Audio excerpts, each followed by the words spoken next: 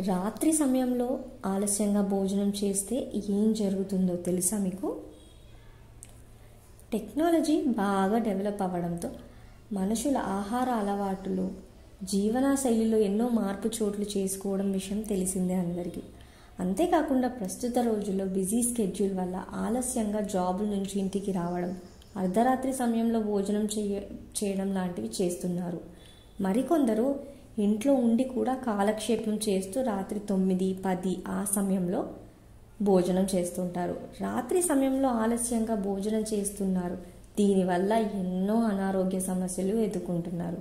మరి రాత్రి సమయంలో ఆలస్యంగా భోజనం చేయడం వల్ల ఎలాంటి సమస్యలు వస్తాయో ఇప్పుడు మనం తెలుసుకుందాం. ఆలస్యంగా భోజనం చేయడం వల్ల మధుమేహం వచ్చే అవకాశం ఉంటుంది. కొందరికి రాత్రిపూట ఆలస్యంగా భోజనం చేసే అలవాటు ఉంటుంది. పని ఒత్తిళ్ళు అలాగే ఇతర కారణాల వల్ల కొందరు సమయానికి భోజనం తినరు.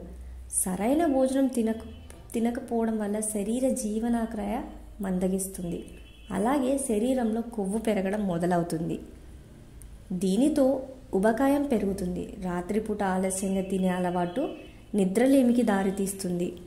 రాత్రులు నిద్ర సరిగ్గా పోవకపోవడానికి కారణాలలో ఆలస్యంగా తినటం కూడా ఒక కారణమే.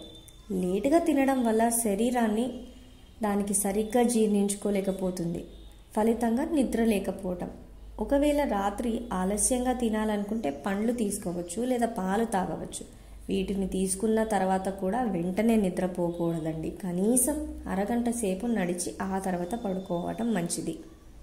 మెలటోనిన్ అనేది ఒక హార్మోన్. ఇది రాత్రి టైంలో చురుగ్గా ఉంటుంది. ఇది నిద్రను నియంత్రించేస్తుంది.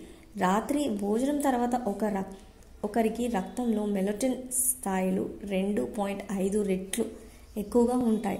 కాబట్టి రాత్రి ఆలస్యంగా ఆహారం తీసుకోకూడదు. రాత్రి తొమ్మిది గంటల లోపల డిన్నర్ పూర్తి చేయడం చాలా మంచిది.